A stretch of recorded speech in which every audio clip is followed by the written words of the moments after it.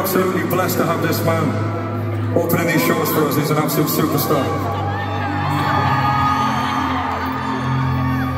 This one's called Falling Like the Stars.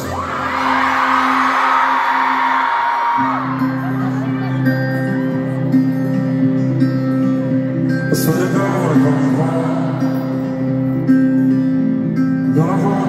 close. When I come I'm never let go.